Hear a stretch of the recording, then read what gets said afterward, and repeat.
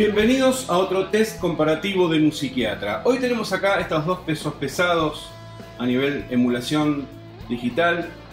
Tenemos la Line 6 Helix, que es básicamente el aparato que va a la cabeza a nivel utilización hoy en día. Es el aparato más vendido, el más buscado. Es una pedalera que cuesta en origen en Estados Unidos 1.500 dólares. Es un bicho caro, pero es totalmente profesional y realmente eh, tiene muy buenas críticas. Y tenemos el nuevo contrincante, que es la Headrush. La empresa se llama Headrush y la pedalera se llama Headrush. Está basada en el Eleven Rack de Avid. Se metieron el terreno en las pedaleras para competirle a Helix. ¿Y qué pasó? Como Helix sacó a principios de este año la Helix LT, que es una versión más económica de Helix que, tiene, que cuesta mil dólares, estos tipos salieron con la Headrush a un valor de 1000 dólares. El tema está que la Headrush no compite con el ET, compite con la Helix de verdad, con la grande.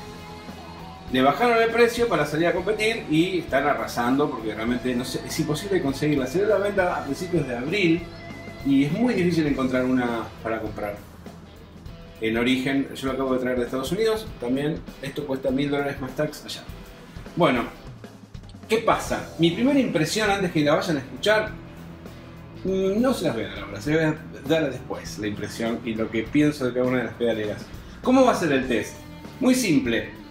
Eh, dejemos los espejitos de colores de lado y vamos a los bifes. Vamos a escuchar crudo cómo suenan algunas simulaciones de amplis clásicos en cada una, con los seteos que ellos dicen que son la posta. Entonces vamos a poner un seteo de Fender eh, Blackface eh, de los 60 acá, con su gabinete, pelado como viene, lo ponemos limpito y escuchamos cómo suena. A eso le vamos a agregar un simulador de Tube Screamer y vamos a escuchar cómo suena.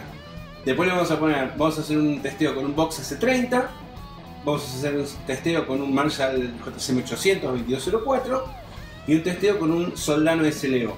Lo mismo hacemos acá, porque eh, ambas eh, pedaleras comparten esas simulaciones, o sea, Fender tipo 60, eh, AC30, eh, Marshall JTCM 800 y Soldano.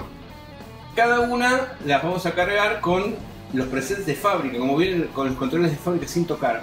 De esa manera nos vamos a dar cuenta cómo suena realmente la pedalera sin reverb, sin delay, sin eh, ninguna parafernalia que enmascare el audio, sin EQ, sin nada.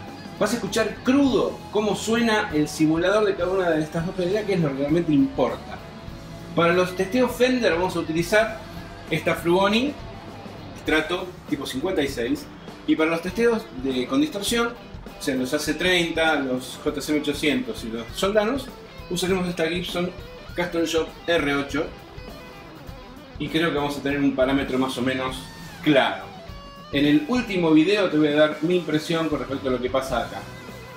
Anda y ahora escuchate los audios y después escuchate la conclusión.